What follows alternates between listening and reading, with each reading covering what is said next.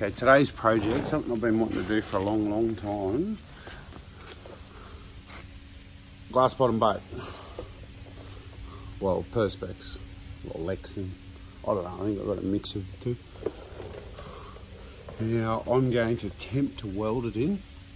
I've never welded aluminium. I can barely weld steel. So this is going to be really interesting. Apparently you're supposed to put a Teflon coated lining in your welder. Um, just going to run it and see what happens. So This could be interesting for anyone who's never welded aluminium. Uh,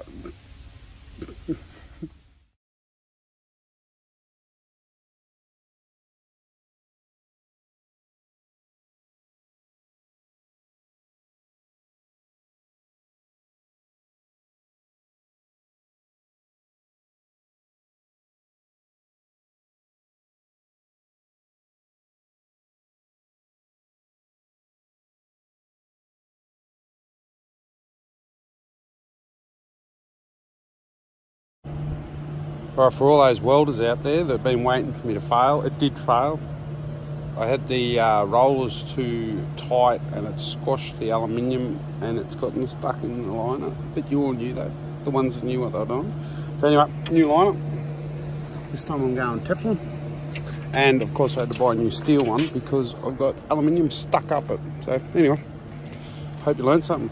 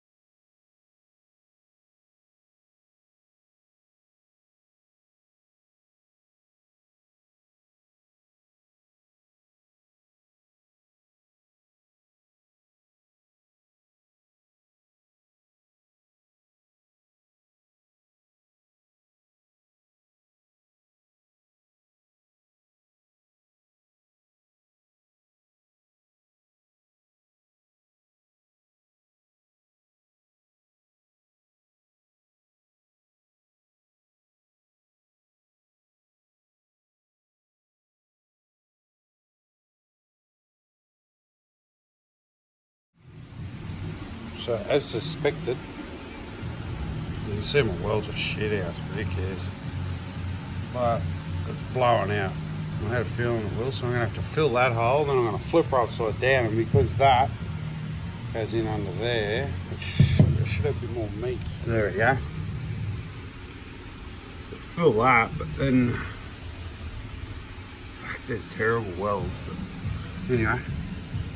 And then I'll uh, just sort of to be honest, I'm probably just to try and seam weld it, but it'll probably just end up urethane.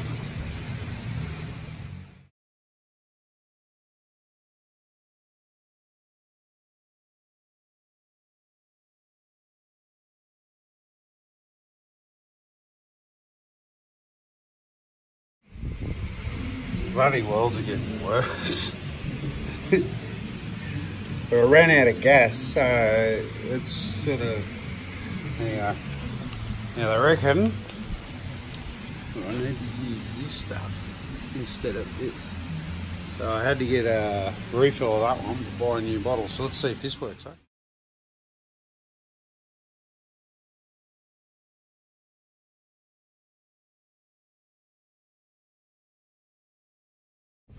There we go, that's much better. Still not great but it is much better.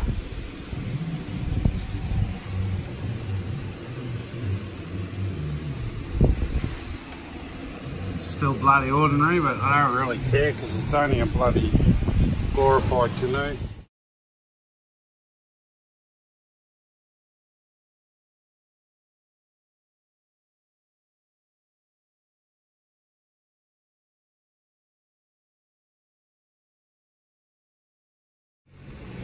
Right, well it ain't perfect, but neither am I. We'll do the job. I don't care. We'll just put some silicone. Right, well I'm nearly done. See the world's getting better. it's still great, but it doesn't really matter. It's aluminium. Anyway. So now it's time to put the perspex in and always stainless steel when you go in the ocean. Why I hate going in the ocean. I hate putting my boats in the ocean, but anyway, is what it is. You've got to go over there, don't you?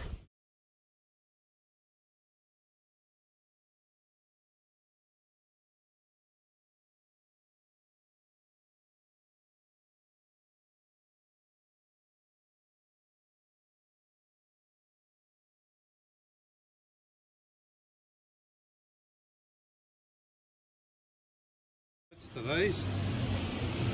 Uh, CUV. Now, because this will spend most of its time on the roof rack, I'll put it UV up.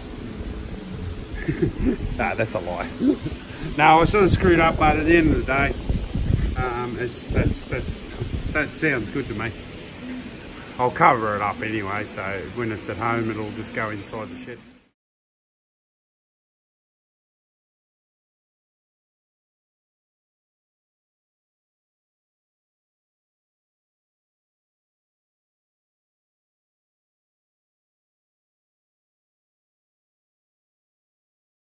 So I'm ready to Uri this in. So I'm just going to hit it with, uh, I don't mind me Uri. And that'll go in a bead around the outside. I'm going to drop this in, bolt this on. I'll just put that on to cover a bit more surface area. I'm not going to bolt it all the way down till it dries and then I'll just last minute torque it down a little bit like you're making a gasket for a car. What I've ended up doing is using this profile, so that's that. And then it just sits in. So all the pressure from the water will push on that, and then the pressure of that will push it up further. So, and then just a bit of some strap there on the outside. Uh, the saw I use, it's just a, it is, it's just a can't really remember what they are, but it is for aluminium. You can use it for timber as well. I can't remember why I put it on there. Know. Then because I, my welds are so good, I am just going to put a little bead of this all the way around the outside, just to save drama. And then the last thing will be test it, then sink it. So I don't know whether the seats are full of polyurethane or you know foam yet. So we'll find out when we sink it. Um, the motor that's going on it is just a little electric one. It's a little Minn. Ah. So that's what, and it'll also have the little Yami on it, just in case we break down, even though it's only recommended for two horse and thug life, mate. I'm gonna bloody going over the top.